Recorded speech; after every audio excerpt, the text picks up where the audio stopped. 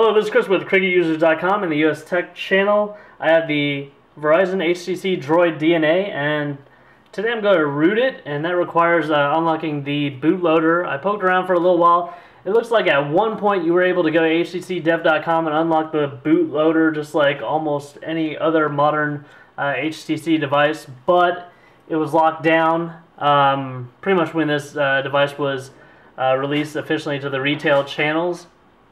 Android Police got an exclusive uh, to post this little tutorial. So one of the first things you're going to have to do is make sure you have a modern ADB that supports backup and restore ICS and up. I already have that. You can get this directly from uh, Google. I'll try to post some links. One gigabyte free space on your phone. You also have to download this backup.ab and this DNA team and IRC .zip, so that'll probably take a little while. The backup.ab is uh, 300 megabytes. Uh, Android Police isn't responsible for any harm to your, your device. I'm not responsible, and the people involved in making this are not responsible. Uh, go ahead and unzip that uh, DNA team and IRC zip. Put the runme.sh and uh, sidgen.apk and backup.ab in the directory uh, with ADB, so you can see them right here. They are within this folder. And then check the README before continuing. I went ahead and opened that up. Um, by following this unlock uh, guide, you agree to not hold anyone but yourself responsible for the damages that may come. Process does temporarily uh, cause damage to your phone, but it also repairs the damage uh, if the process is completed. Um, JCase was the uh, developer. Uh, he sends out a thanks to Sean Beaupre, hope I'm pronouncing that right, and their crash test dummy was DSB 9938. So go ahead and read that in its entirety, and then run your command prompt. Uh, go search in most Windows computers and hit CMD and then enter. You should bring this up. And then make sure that you're in your ADB directory and type uh, ADB install sidgen.apk. Make sure your device is connected and USB debugging is enabled. So go to your settings, go down to developer options, click OK, make sure that's on, then USB debugging is checked. So I'll type adb install sidgen.apk. I use a laptop just because uh, I don't have a desktop at home. I have one at work, uh, but it does have a battery, which is good. So hopefully I won't uh, get interrupted in any of these processes. So it says run the SidGen app from your phone and follow the directions on the app. Then ensure the SD card uh, SID block image file exists on your phone with the following command. So we'll go back out, go into our applications, and right there we'll see SidGen. SidGen needs to know the last digits of your IMEI. Please have your IMEI written down before continuing. Please be certain to hit the last digit correctly. An incorrect IMEI may damage your device. Do you want to open settings status activity to view your IMEI? We'll hit yes. And going to scroll down until I see my IMEI. I'm going to grab the last four digits. I'll go ahead and hit generate partition. Enter the last digit of your IMEI. It's 1 in my case. I hit generate partition. It said wrote generated partition to SD card slash sidblock.img. So I'll go ahead and go back to my command prompt. I'll hit adb shell os l forward slash sd card forward slash cid block dot img and it shows that it's there says if SID block image doesn't exist after running the app, do not proceed. Try rerun SidGen APK on your phone, then rerun the above command to verify SID blocks .img's existence. If it does exist, continue with these commands.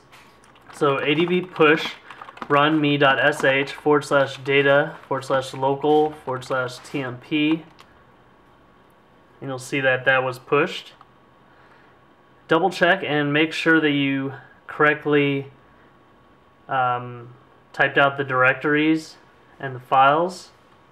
adb shell 755 space forward slash data forward slash local forward slash tmp forward slash run me dot sh. So let's go run it. Let's go change the uh, permissions and then adb shell data local tmp forward slash run me dot sh. Enter. This process will loop forever and give out lots of no such file or link failed errors, so just leave it running for now. In a second terminal command prompt, use ADB to restore the modified backup. After running this command, the phone will ask you for permission to restore the file, so go ahead and allow it. So this is running right now. We're going to go ahead and open up another command prompt. See, in Windows 8, I had to right-click it and click Open New Window before I got another one. At this point, we're going to type ADB, well, we're going to get in that same directory where ADB is.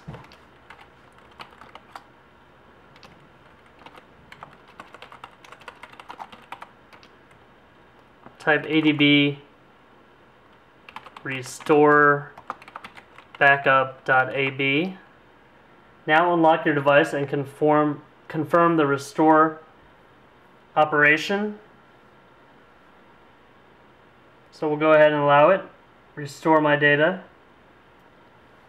After the restore is finished, you need to stop the run me.sh script in the first terminal. Use Control C or just close the window.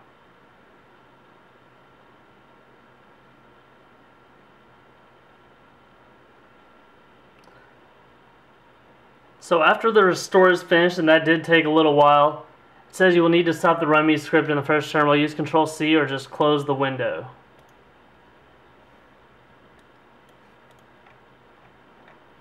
And it says, from this point forward, you're past the point of no return. Do not continue if you not be able to follow instructions 100%, as rebooting or powering down the phone at the wrong time will break the device. Ensure your device has at least 50% battery life before continuing. So adb shell data data com.htc.usage files exploit.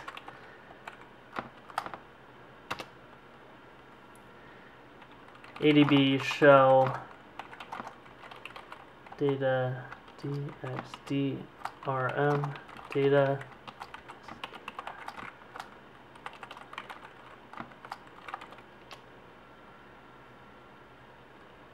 Make sure you type all of these correctly. directory data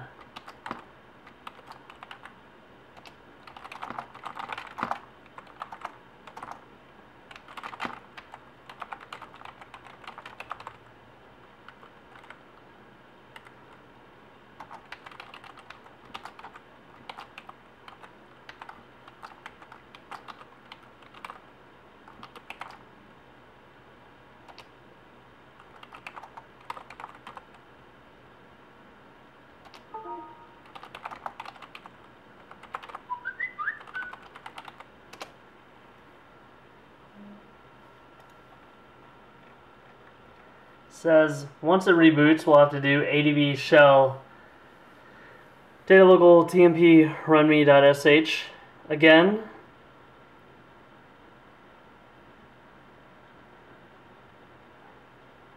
This process will loop forever and give out lots of no such file or link failed errors again. Just leave it running.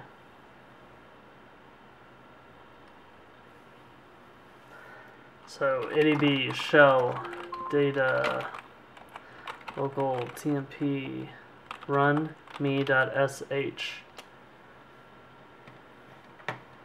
We'll go ahead and open a new window.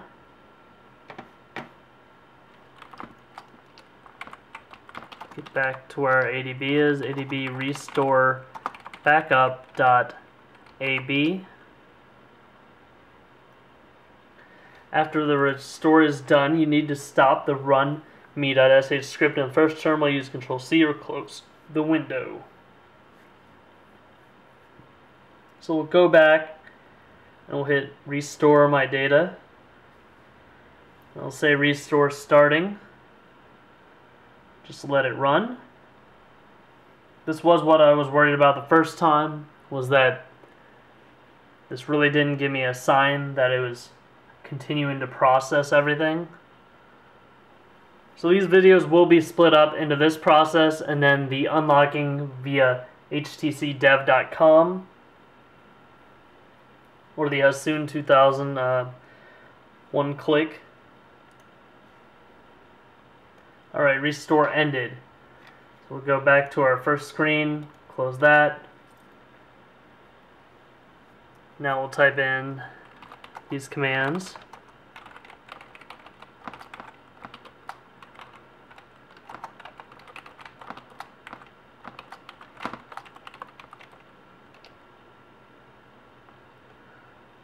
Says not found so I'm going to go ahead and check what I wrote it looks like I didn't enter a space right here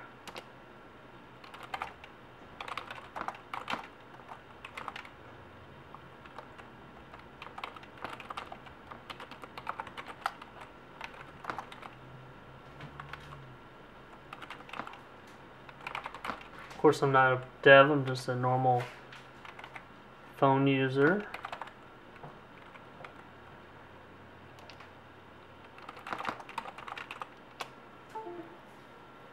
Says you can now unlock your device using htcdev.com. Simply select all supported models for your phone type. So this will be labeled part one. For more information about this device and more, please like this video, subscribe to this YouTube channel, and go ahead and watch part two. Thank you.